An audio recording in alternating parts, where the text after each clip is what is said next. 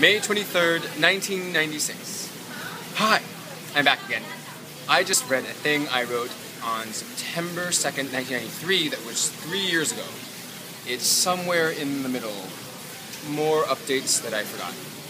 Remember when I told you my parents were too overprotected? Well, I can go to the mall because of honor roll. I shave my legs anyway. Just thought you'd like to know. Oh yeah, I go out with guys without asking either. Well, I'm bored. Stuff. True love.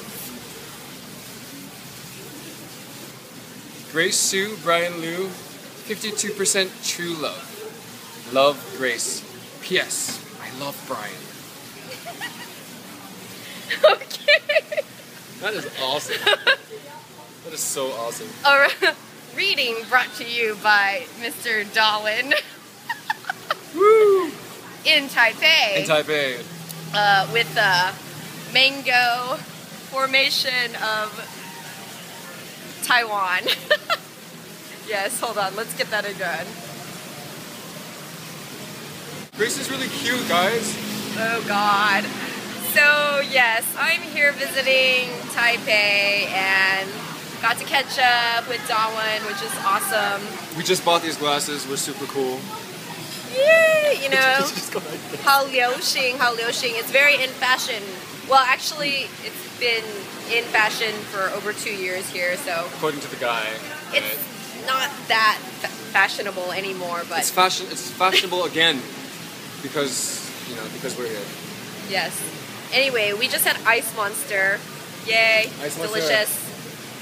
Mango chua bing, mango shaved ice. Uh, they have other kinds too. It's really good.